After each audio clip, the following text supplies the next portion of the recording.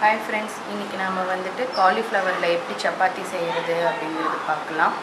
இது காலிஃப்ளவரு நல்லா நைஸாக துருவி வச்சுக்கோங்க. இல்லைன்னா மிக்சியில் கூட நீங்கள் இந்த மாதிரி ஓட்டிக்கலாம்.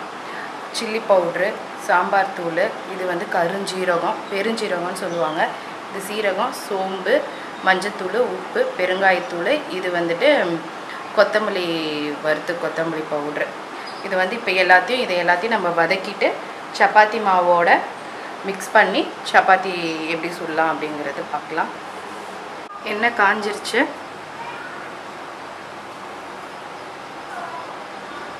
இப்போ இந்த கடுகு சீரகம் சோம்பு இதெல்லாம் போட்டுடலாம்.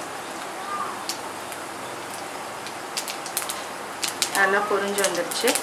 இப்போ வந்து காலிஃப்ளவரை போடலாம். நல்லா வதக்கணும். அப்போ தான் அந்த ஸ்மெல்லு இருக்காது அந்த காலிஃப்ளவரில்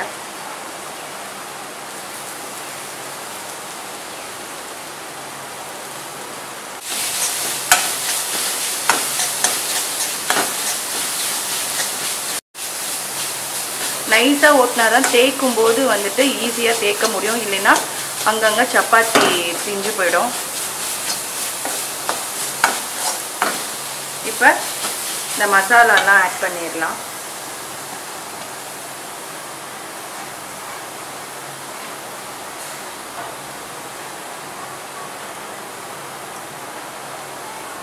அடுப்பை சிம்மில் வச்சுக்கோங்க.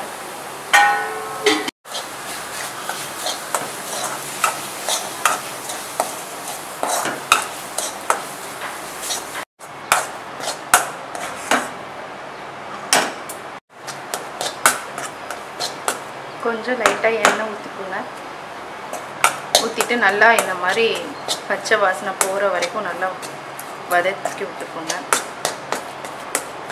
இப்போ நம்ம இதை வதக்குனதை இந்த மாவோட சேர்த்துக்கலாம். மாவோட மிக்ஸ் பண்ணிக்கலாம்.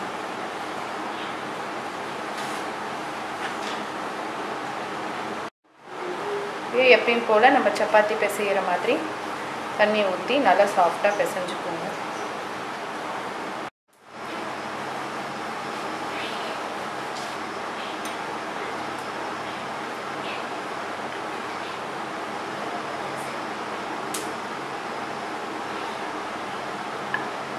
நீங்கள் ஆர்டினரி சப்பாத்தி செஞ்சு கூட நீங்கள் ஸ்டஃபிங் மாதிரி கூட அதை வச்சு நீங்கள் தேய்க்கலாம். இல்லை இந்த மாதிரி கூட நான் மாவோட கலந்து கூட நீங்கள் வந்துட்டு சப்பாத்தி தேய்ச்சிக்கலாம். பாருங்கள் உங்கள் வீட்டில் இந்த மாதிரி கட்டர் வச்சுருந்தீங்கன்னா கூட இதில் நீங்கள் அழகாக வந்துட்டு தேய்ச்சிட்டு பூரி கூட கொஞ்சம் மொத்தமாக தேய்ச்சிக்கிட்டிங்கன்னா பூரி கூட இந்த மாதிரி குழந்தைங்களுக்கு இந்த கட்டரில் வச்சு பூரி கூட போட்டு கொடுக்கலாம். இல்லை நீங்கள் சப்பாத்தி கூட சின்ன குழந்தைங்களுக்கு பாருங்க நான் இந்த மாதிரி தான் வந்து சப்பாத்திக்கு போட்டு வச்சுருக்கேன்.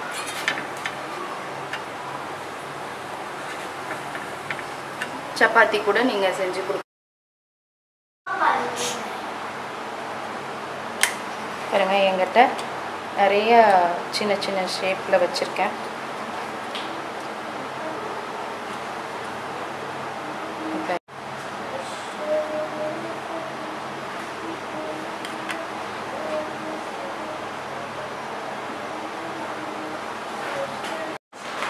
இப்போ சூப்பரான காலிஃப்ளவர் சப்பாத்தி ரெடி பூரியும் பாருங்கள் நான் இந்த மாதிரி பூரியும் போட்டிருக்கேன். நீங்கள் ட்ரை பண்ணி பாருங்கள் இதுக்கு வந்துட்டு உங்களுக்கு குருமா சட்னி எதுவாக இருந்தாலும் சைட் டிஷ் சூப்பராக இருக்கும் தொட்டு சாப்பிட்றதுக்கு.